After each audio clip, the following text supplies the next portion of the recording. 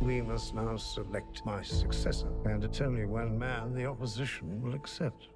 He stands for one thing, and one thing only himself. Why have I been forced to send for Churchill? His record is a catastrophe.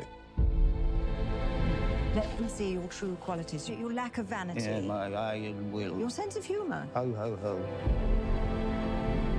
Your Majesty. It is my duty to invite you to take up the position of Prime Minister of this United Kingdom.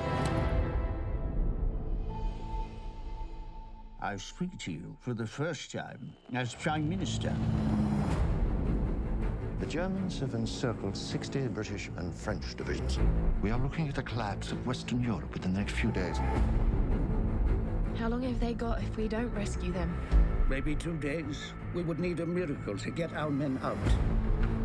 You have the full weight of the world on your shoulders. We're facing certain defeat on land, the annihilation of our army, and imminent invasion.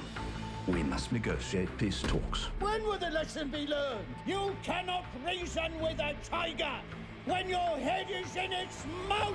Nonsense. The only slippery slope. Would you stop interrupting me while I am interrupting you?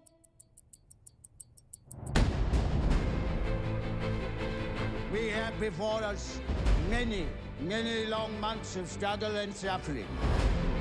Even though many old and famous states have fallen into the grip of the Nazi rule, we shall defend our island, whatever the cost may be. We shall fight on the beaches.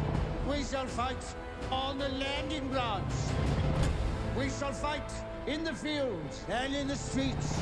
We shall fight in the hills. We shall never surrender! For without victory, there can be no survival.